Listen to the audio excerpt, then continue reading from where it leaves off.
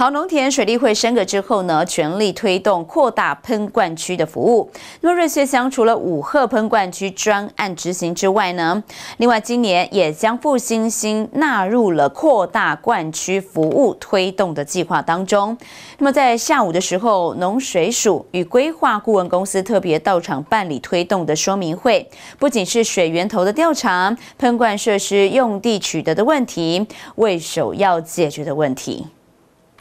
瑞穗乡复兴村纳入今年度农水署花莲管理处扩大灌区服务推动计划区之一，也使得这一场花莲南区扩大灌区服务推动说明会，地方所会乡亲农民踊跃参加，专注聆听。第一个概念就是说，应该大家都是希望是用动力抽水，哦，那个动力抽水的部分，哈，那个是逼不得已啊，啊。在简报说明中，针对了复兴村潜在灌溉问题，农水署与规划顾问公司初步规划水源、喷灌设施以及农水路的建制来解决。不管是我很建议，现在大家谈的都是那个大的蓄水池的部分。对对对对。那那个有大家调查一下，那个有要做，就是为我们讲的那个呃卫星的那个概念嘛，分到这个。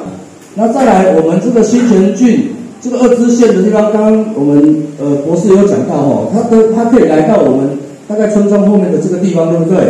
那是不是说这个水库蓄的水使用在这个地方？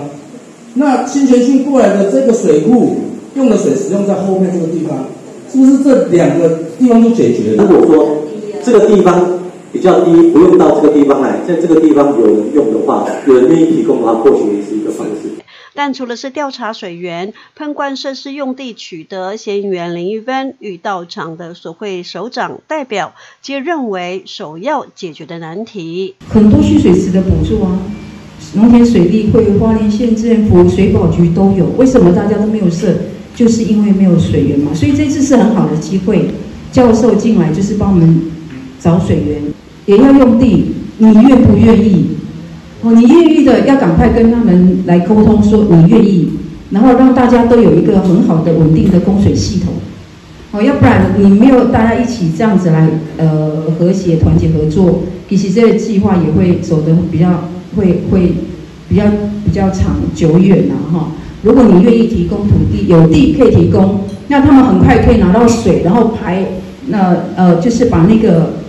整个。排水系统就是接水系统的这个系统，整个会规划出来，我想这样会是比较快。这样，海岸山脉山低水短，地处山脚下的复兴村，灌溉用水本就不足，近几年更饱受旱灾所苦，也因此对于纳入农水署扩大灌区服务计划中来改善，多数农民都高度支持，也乐于配合提供喷灌设施用地。是农村地址，嗯，还有那个区块可以做其他。啊，对对，这两个，我另外一个池塘，这边那个那个蓄水池，对对对对对，另外一个池塘，对。好，哎，